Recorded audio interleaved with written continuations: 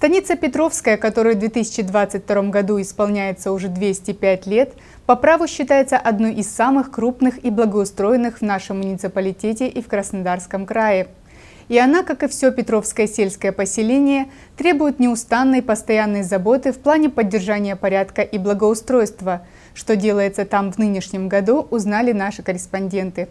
Благоустройство станицы Петровской в центре внимания местных властей. Здесь стараются использовать все открывающиеся возможности, имеющиеся программы для того, чтобы сделать жизнь петровчан как можно удобнее. Причем мелочей не существует. В этом году мы проложили тротуар дополнительный в плиточном варианте. Ну и, соответственно, убрали лицевую сторону парка разместили красивые клумбы, они называются растифлоры, посадили туда цветы, сделали тротуарную зону к памятнику Ленина. Все больше благоустраивается станичный парк, который стал любимым местом отдыха жителей поселения. И все мероприятия, которые мы тут проводим, да, и будничные дни, очень много деток, очень много молодежи, которая отдыхает.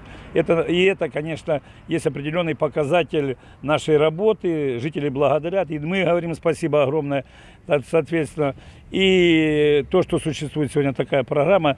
В нынешнем году установлено два дополнительных остановочных павильона. Теперь жителям будет удобнее дожидаться своей маршрутки. Дорожная сеть нуждается в обновлении. И в 2022 году работы продолжаются. Отсыпали три дороги в щебеночном варианте. Это 900 метров по улице Квартальной на хуторе Водном. Тоннельная порядка 500 метров. Значит, 300 метров, 350 метров по улице Партизанской.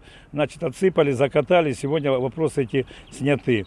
Вступили мы в программу развития сельских территорий и, один, и сразу же уделили э, внимание значит, э, тротуару по улице Красноармейской и Пимоненко в плане Э, значит, э, что у нас там располагается 29-я школа, и доступность, безопасность детей, она должна быть обеспечена, поэтому э, тротуар на стадии завершения, и я думаю, к 1 сентября детки пойдут уже, соответственно, по огражденному, по новому тротуару в школу.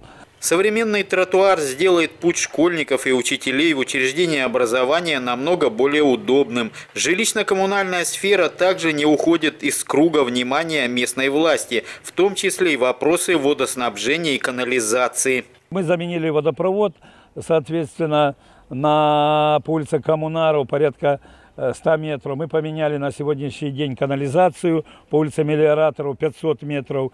Значит, вопрос канализационный, конечно, он очень такой, э, будем говорить, на сегодняшний день проблемный, в том плане, что канализации построены все 70-е годы, построены из чугунных труб, и, соответственно, они приходят, но это не только наша беда, это беда и города, это и наша, там, где существуют канализационные стоки, это вопрос, будем говорить, на сегодня очень злободневный. Поэтому в планах строим, и уже есть деньги, договора, со следующей недели мы заходим на улицу Буденову, порядка, соответственно, 100 метров меняем канализацию. И меняем канализацию по улице Комсомольской Димитрова 420 метров. Прошедшие в недалеком прошлом сильные ливни вызывали в станице подтопления, с которыми здесь, впрочем, успешно справились. И еще здесь очень стараются, чтобы новые возможные погодные сюрпризы были встречены во всеоружии. Очистка ливнестоков – один из главных приоритетов.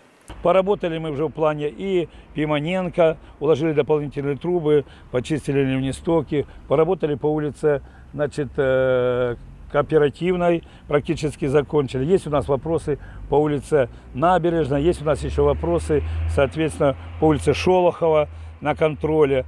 Ну, я думаю, что, не думаю, а знаю, что и ставлю задачу к началу осенне-зимнего периода там, где, соответственно, мы знаем эти все слабые места, где нас топило, я думаю, по максимуму выполним ливни отведения.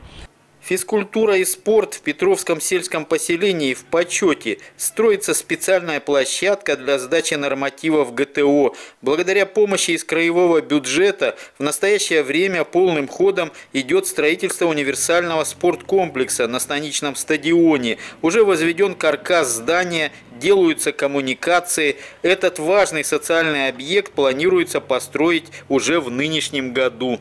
Глава Петровского сельского поселения Владимир Михайленко доволен идущей работой и благодарен за активное содействие всем, кто участвует в благоустройстве. А это прежде всего активные и неравнодушные петровчане, заинтересованные в том, чтобы их родная станица год от года становилась комфортабельнее и краше. Андрей Вишневский, Дмитрий Волошин, программа «События».